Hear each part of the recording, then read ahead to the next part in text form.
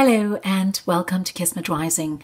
So I'm coming to you again with your weekly oracle card reading, and this week I feel like uh, almost like the pressure's come off for some of you, uh, as if you have been in a kind of pressure cooker, but the pressure has been released, and that you can just deal with almost like matters that are superficial or practical or uh, material and so I chose some cards which have a light, lighter meanings. And of course, one can read deeper into these uh, cards and you can always access more from them. But I've decided to just work with cards that are quite light in their nature and um, just give us basic, a kind of superficial understanding of what we need to know for the week ahead.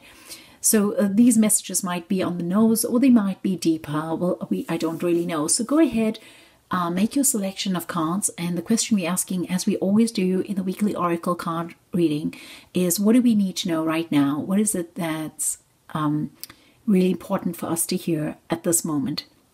with regard to whichever situation you choose. So once again, you can actually choose like all the three cards for different uh, aspects of your life, or you can just choose one card uh, as a general overview for what you need to hear at this moment.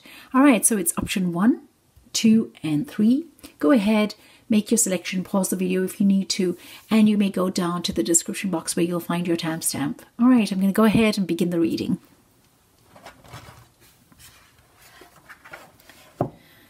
So for those of you who've chosen the first deck here, the question we're asking is what is it that we need to know right now? What is the most important thing that we need to know at this moment?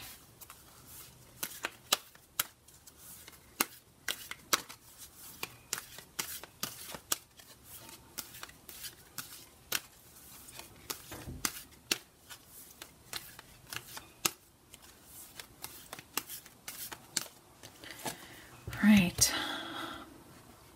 So we have one card here, and it's called Patience, and uh, it's the green corn moon. It's the number 36. So I feel like it's important to choose another card for you, so I'm going to go ahead and just do that right now.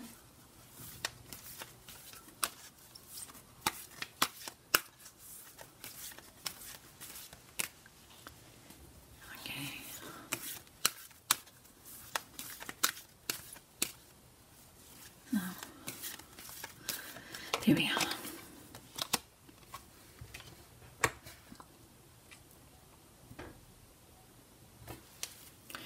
Okay, so there are two messages in this um, in this reading, and we can read this in many ways. I'm going to give you the different options that we have here. So, um, the first card is patience, and it's you know it's as if you are still heading somewhere, and it's almost uh, just beyond the horizon and you can get a glimpse of it, but you're just not able to actually access it right now. And the card is asking that you be patient. It's almost like there's this impatience or this irritability or this frustration um, of not being able to have what it is that you desire or kind of seeing that you can reap the rewards, but it's almost just beyond your reach.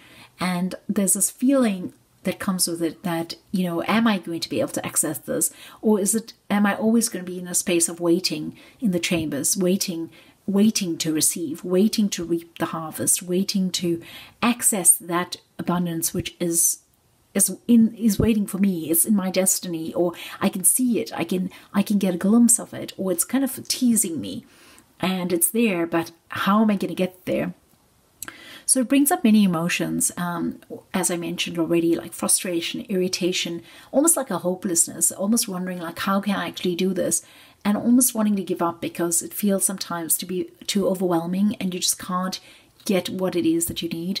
So it's there's a space between you and what it is that you desire, and it's almost like uh, you know you can't actually get it fast enough. All right, so what it's saying here is that just, you will you know, you need to take your time. You need to understand that it's a process.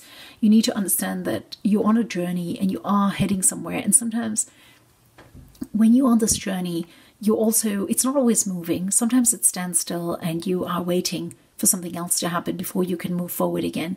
And this might be one of those times for you where you just need to stand still and just hold on because maybe you are in a in a space that's turbulent or maybe you just need to stay stay still and listen and be quiet for a while and feel or maybe it is that you just need to observe for a moment. But what it's saying here is that just be patient just be in this moment and recognize that there will be a time just now where you'll be able to move forward. And don't allow yourself to get overwhelmed or be put off by the distance between you and what it is that you desire. Recognize that you are heading towards that, that it is a goal of yours. And yes, it may seem so distant, like it's light years away, but it's actually not. It's in fact within your grasp. It's just that right now is the time to just stand still and wait and just be patient, okay? So that's the, feel, the kind of meaning of this card here. It's the number 36. And the other thing I'm hearing here is that, um, okay, so for some of you, that is what what you need to do right now. And there's going to be a moment just after that when you you can actually move forward again where things are just ready to go ahead and you can use all of your your power to move ahead and to move things forward. It's just that right now is not the time for that. But what they're saying is that like around the corner uh, there is going to be a time where you can just like harness all your energy and buckle down and just move forth, like really uh, with a lot of strength and a lot of passion and just a lot of energy. Uh, they also the the other message I'm getting here is that well the like sometimes one can look at this card right? And one could say all right you know this i just got to be patient and the masculine is going to enter my life and it's just a matter of time before they could get there. And i feel that that's such a like a simplistic explanation. Um, but if some of you I'm, I'm like i'm not hearing that that it, it is right? Uh, but if some of you are feeling that that and it's resonating with you then you know go go with that. And that is one of the ways in which you could read these cards. I'm feeling however that this is very much related to being patient and being still as i've mentioned as a definition for this card or what this card the energy of this card. And then just moving ahead when the time is right with all that you have and if you are, you know, in a process where you're like setting up a business and things are taking too long, or you're trying to get started with some study related stuff and it's just like taking forever, or you're just not getting to the groove where you can get into a good rhythm or whatever, just understand that sometimes it's just a matter of time before you get there. It's just a matter of like waiting for things to come into the right um, space or to click into place so that you can use all of your resources and all of your energy and all of your skills and knowledge and power to push things forward. But that moment will come and it is there, it is forecasted. But right now is the moment to just wait. All right. So that is what I'm hearing for you guys this week. Uh, for those of you who've chosen the option number one here, just a quick look at these cards.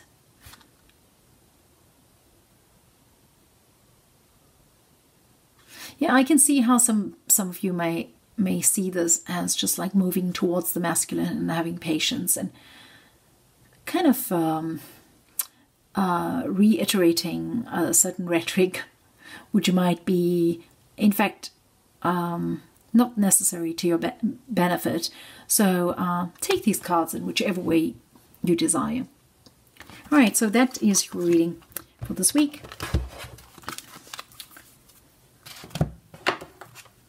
Moving on to the second deck here. Question we're asking is what is it that we need to know right now? What is this message that we're looking for? What is this confirmation that we require? Okay, I'm just going to give these cards a shuffle.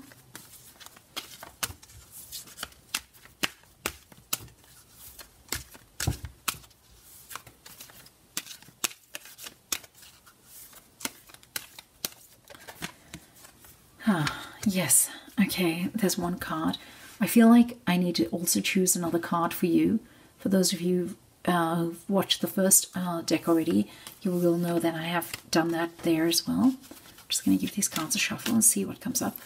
Oops, there's a lot coming up here. okay. Alright, I'm going to go with this card.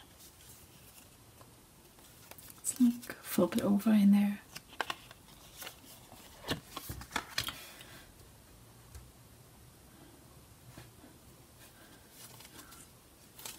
Trying to feel if I feel like there is still another card that needs coming through for you. So I'm just going to go ahead with this.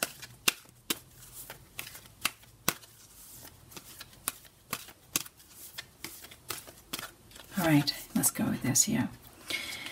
Okay, so all these cards kind of feel like all these messages feel like they they flow into each other, you know. Following your bliss, proceeding softly, merging into grace. It's almost as if it's a it's a sentence. It's like, okay, you need to follow your bliss. That's the direction in which you need to go into now. Don't um, think about, don't, you know, ensure that at every step of the way, uh, all the actions that you're taking um, is in the direction of following your bliss. And the way to test this uh, is to is when you, you when your soul sings with joy, as the caption reads here.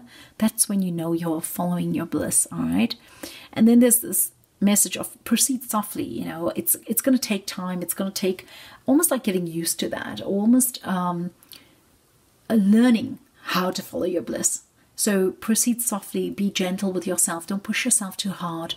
Um, don't be too hard on yourself when you don't get it right, when you slip into old patterns, when you are uh, kind of, if you're trying to make some some changes in your life, if you're trying to make, if you're going through a transformation and you you're trying to make some kind of headway in a certain direction and you're struggling to do so, then one of the messages that are coming forth really clearly is give yourself time to do that. Give yourself the, you know, be patient with yourself take your time to actually do this slowly and to enjoy doing it.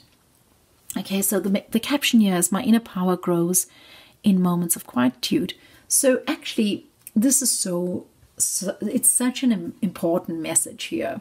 My inner power grows in moments of quietude. Quietude. I'm not sure how you pronounce that. So, um, I think here this is a message that we could all benefit from. You know, uh, just being quiet or being still within oneself at the moment at which we require answers and the answers will come to us. We just need to be quiet because we already have all the answers. You know, you don't need to come to these card readings or you don't need to go to a psychic or to some um, um, truth sayer. You need actually just to listen to yourself because you have the wisdom within you. And if you can quieten yourself down to listen to what it is that is authentic the authentic truth that's coming forth then you will you will be okay. You'll be you're able to hear that and you'll be able to move forward. The danger is that sometimes when you quiet, quieten yourself you kind of listen to your own voice telling you what you want to hear. And it's important to discern what is you know your voice and what it is that you want to hear and what is the the message that is the universal message of your truth or you tapping into that universal consciousness Sometimes the message is the same, you know, and so you still don't know. But um, it requires a bit of practice, it requires understanding oneself better in the process. And so it's saying here, follow your bliss and do so with a measure of, you know, your soul singing with joy. When you when your soul singing with joy, that's when you know you are following your, your bliss. But to proceed softly and you know, if if you find that you are struggling with it, then go into yourself, be quiet, seek the answers from within, okay? And you'll find yourself merging into grace. You'll find yourself opening your soul into grace. So it's like I feel that your soul is always in a state of grace, but it's the relationship that we have, our bodies have to our soul, and and how we we navigate in this lifetime or in this body on this planet you know and so it's less i feel like it's less about opening our soul to grace but opening ourselves to grace like opening ourselves to the grace that our soul has actually. So it's it's like this is a sentence here as i've said like follow your bliss proceed softly and merge into grace emerging into grace. You'll find yourself merging into grace. So it's a moment at which merging into grace is a moment at which you actually just don't feel like you know you need to be doing anything any longer. You are in a state of grace and it's actually working for you. You are just simply in tune completely in tune and completely okay with it. So you're not struggling to get anywhere. You're not trying to do anything. You uh, have lost it's like you kind of not lose but you kind of leave behind the ambition that you might have or um, whatever it is that you're seeking. You stop being the seeker and you become the knower all right. So this is actually the feeling that I'm getting here. And it says, for you know, it feels very much like I, you can apply this in any area of your life. So it's uh, if you're actually on a spiritual path and your question as you've come here today is a spiritual question it's like a, you know what do i need to do to come into more peace or what do i need to do to transform then this this is a very direct um, answer you know follow your bliss right? But i feel that it can be applied to every situation. If it's a situation at work where you're struggling or with family uh, with certain family dynamics behave in a manner that you, uh, that your soul where your soul is singing your joy. Just follow that as a rule. You know if you can follow that as a rule in every action that you take then um, then if you you know you, you try to understand this and you're aware of yourself and you're observant in every moment i feel like you'll make a lot of headway with that you know you'll come through a lot of things and and you'll you know if you part of this is actually proceeding softly. This is like kind of woven, this message here is kind of woven into that one. And this is like the outcome of that. And it's it really is all like the same message for me, you know. It's about following your bliss and being quiet within yourself, understanding what that inner joy, that inner fulfillment, that that real bliss feels like. And as you do so, and as you uh, act in accordance, then you do naturally merge into grace. Right? So I hope that message has been useful. It really does feel like a very obvious message uh, to me uh, from these cards. I'm not really getting anything more than that. I feel like um, I could like speak forever, and I know some of you said like I should just do that, and but I, I, I prefer not to because I like these videos to be quite short and, and to the point. I try at least for it to be to the point, so that you don't have to spend too much of time on there. And uh, yeah, but I hope this has resonated on some level. I feel like it resonates with everyone, you know. So um, good luck with that, and I hope it does help. And thank you very much for coming by today for those of you who've chosen this deck here. So moving on to the third deck here. What is it that you need to know right now? And what have you come here to hear? What is the message that is really necessary for you to hear at this moment?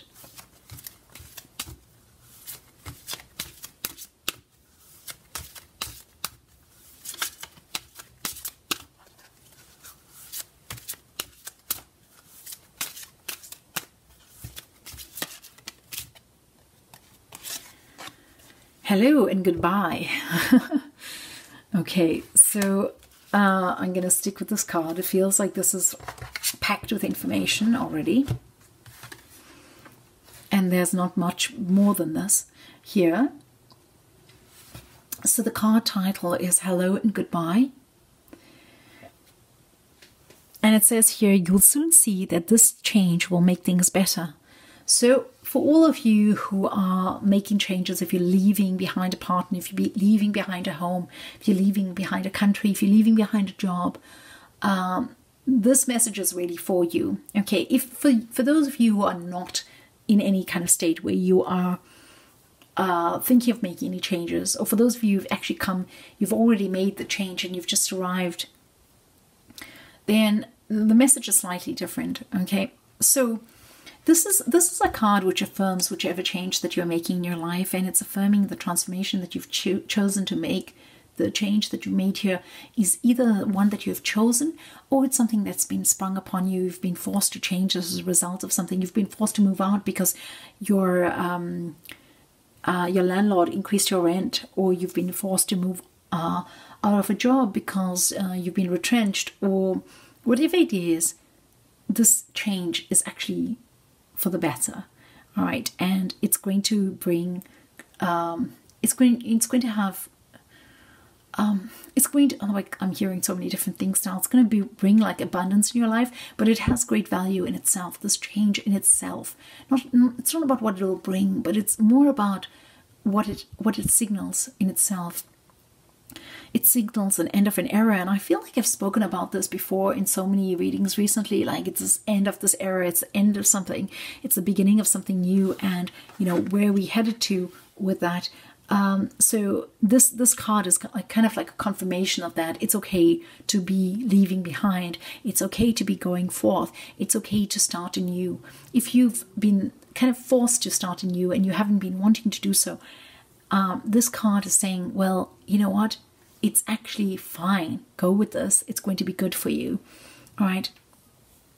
There are lots of blessings that come with this move. There's lots of blessing that comes with this change, and this this move or this this change that's taking place in your life is is divinely supported. Now, for those of you who aren't making any changes and there's nothing really going on in that respect, this could be uh, simple things that you're doing that's changing around in your in your home environment or in your work environment a certain attitude that you leave behind a certain way of looking at things that you're leaving behind this could also mean that you are encouraged to look at where you can make changes or where a change could bring some great transformative value in your life so where is it that something can be shifted or something can be changed to bring about greater goodness. And even though you may not see the greater goodness at this moment, it is lurking in there somewhere. And so, where is it that you can make those changes in order to bring that into your life? Even though you may not see it at this moment, it may be just, you know, beyond your your idea of uh, it, mm, what am I trying to say here? It could be like beyond your reach, not beyond your reach, but like it's beyond your imagination almost like you can't really see that things could get better but it feels like okay there's a change that can be made here. So if none of this applies to you and you just don't feel like you know there's any change going on in your life then i want to say here that there are there are there may be uh, situations in your in your world in your emotional landscape um, whether it be old lovers old friends old boyfriends, old relationships where there's needs to be you know, like brought out of the closet and looked at again and and reevaluated and then basically you know decide what you're going to do with that. Decide what the lessons were in that decide why you know understand why it is that you behaved a certain way as you did in that relationship or how um, the other party behaved. And and say goodbye to some of these relationships once and for all or if necessary i feel this is in you know in a very few cases you might want to pick up the phone and call this person again. But it's almost like this uh, kind of uh, you know like bringing up something from the past that needs to be relooked at and let go at for and let go of once again. So this this card had so many different meanings and i feel like there's like all of this is is relevant to some of you. Um, there's one more message that's coming through here, and that's you know, you might be desperately seeking this hello and this goodbye. You might be desperately seeking a new beginning in your life, but that new beginning is just not there right now and it's going to take a while. It's just not practically possible for it to happen right now, is what I'm hearing.